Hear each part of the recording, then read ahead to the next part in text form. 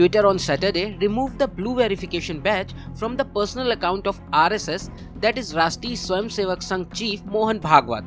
On a day, it came to light the badge was also removed from the accounts of a number of RSS leaders. Bhagwat's account was opened in May 2019, follows only one handle, and has more than 200,000 followers. Earlier in the day, the social media giant removed the tick from the handles of RSS leaders such as Joint General Secretaries Krishna Gopal and Arun Kumar, former General Secretary Suresh Bhaiyaji Joshi, and current Sampark Pramukh Anirudh Deshpande. According to Twitter's rules, the tick is removed if an account becomes inactive.